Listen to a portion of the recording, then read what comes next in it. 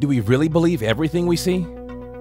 The use of photo enhancing software is commonplace, and video computer generated animation entertains us in films and online platforms. So far, live television and video broadcast has offered some measure of authenticity, particularly from reputable organizations.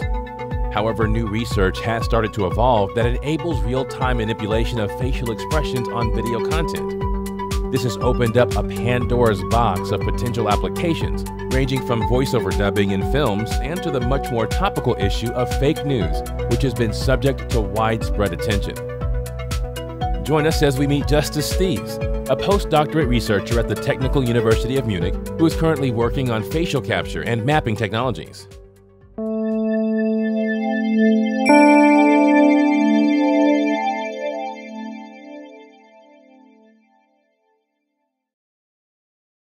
It's a research topic where we uh, try to um, modify expressions in a target video. So the idea is to uh, do some kind of post-processing of existing video material and we are able to uh, transfer expressions from a source video to a target video. In the beginning we were interested in reconstructing the face geometry of a person but later on we also realized that we can use these technologies to also track a person in a video. So uh, we also um, reconstruct the expressions of a person, so also the deformations of the face. Because we are able to photorealistically synthesize new images, we were able to uh, do this face-to-face -face application where we modify existing uh, video material. The system reconstructs both source and target actors using a dense photometric energy minimization.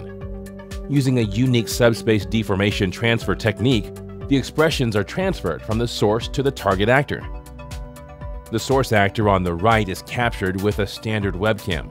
This input drives the animation of the face on the video shown on the monitor to the left. As you can see, the source actor can produce a convincing reenactment result.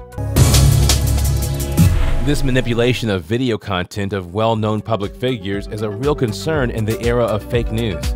Equally important now is face-to-face -face forensic software, which can be used to identify manipulated content. We have several publications where we analyze how to detect such fake images.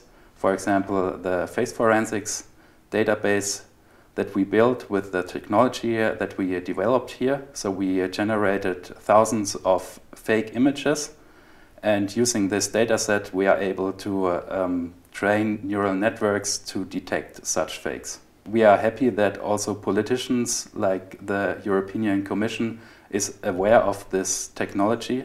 So we had discussions uh, with them about upcoming elections and how to detect fakes and how to um, fight against such fake news.